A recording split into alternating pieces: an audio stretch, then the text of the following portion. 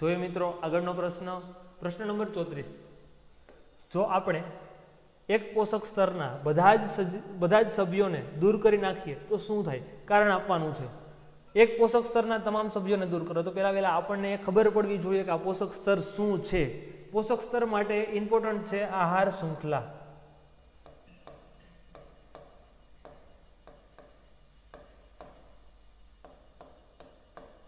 આહાર શૃંખલા કેવી રીતે રચાય છે? ધ્યાન દેજો મિત્રો. સૌપ્રથમ હોય છે ઉત્પાદકો.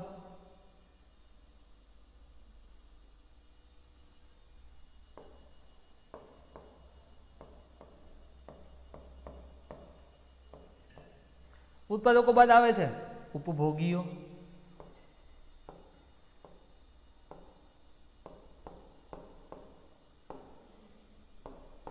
આ જે ઉપભોગીઓ છે તે છે શાકાહારી.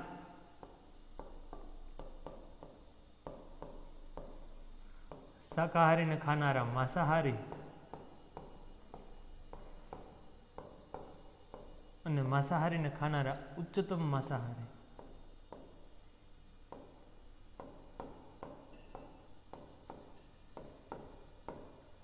તો મિત્રો એમ એક મસ્ત મજાની આહાર શૃંખલા રખેલી છે. પેલા પેલા છે ઉત્પાદકો. હવે વાત આપણે એવી કંઈક છે કે આપણે પોષક સ્તરના કોઈ એક પોષક, કોઈ એક પોષક સ્તરના બધા જ સભ્યોને દૂર કરી નાખીએ. જો, આ એક પોષક સ્તર છે. આ એક અલગ પોષક સ્તર છે. આ પણ એક અલગ પોષક સ્તર છે. આ પણ એક અલગ પોષક સ્તર છે. અને આ પણ એક અલગ પોષક સ્તર છે. આ બધા અલગ અલગ અલગ પોષક સ્તરો છે. વાત એમ છે કે આમાંથી કોઈ પણ એકને આપણે દૂર કરી નાખીએ તો શું થશે? ફોર એક્ઝામ્પલ તરીકે હાલો, આપણે શાકાહારીઓને દૂર કરી નાખીએ સમજવા માટે. ઉત્પાદકો છે, ઉત્પાદકોનો ખોરાક તરીકે ઉપયોગ કરશે. ઉપભોગ્યો એમાં પણ જો શાકાહારીઓ હવે શાકાહારીને આપણે દૂર કરી નાખ્યા છે. તો ડાયરેક્ટ જે માંસાહારીઓ છે, તે આજે શાકાહારી ખાતા ખોરાક, એટલે કે આજે વૃક્ષોનો ખોરાક તરીકે ઉપયોગ કરતા હતા. શાકાહારી આપણે તમામ. હવે આ જે માંસાહારી છે ડાયરેક્ટ શાકાહારીનો ઉપયોગ, શાકાહારી જે ખોરાક તરીકે ઉપયોગ કરતો એનો ઉપયોગ કરી શકવાના નથી. એટલા માટે શું થશે? તો કે આ જે માંસાહારી છે, એની સંખ્યામાં ઘટાડો થશે. કારણ કે એને જ્યાંથી ખોરાક મળતો તો એક સ્ત્રોત જ બંધ થઈ ગયો. હવે આની જગ્યાએ તમે કોઈ પણ લઈ શકો. ફોર એક્ઝામ્પલ તમે માંસાહારીને દૂર કરો. તો શું થશે? તો કે આગળની શૃંખલા હમણાં રહેશે. શાકાહારીની સંખ્યા વધતી જશે. શા માટે? તો કે એને ખાવાવાળું કોઈ નથી.